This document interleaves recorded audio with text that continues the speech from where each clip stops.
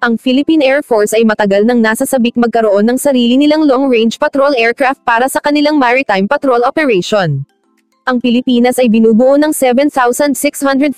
islands, kaya napakahalaga ng isang maritime patrol aircraft upang mabantayan ang karagatang sakop ng Pilipinas.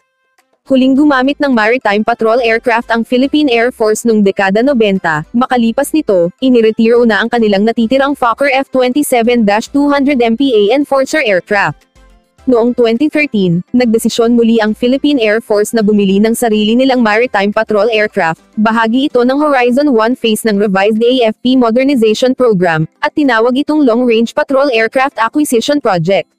Ang Long Range Patrol Aircraft Acquisition Project ay napanalunan ng dalawang kumpanya, ang Israeli Aerospace Industries Elta Systems Limited at ang French-Italian Joint Venture Company, ATR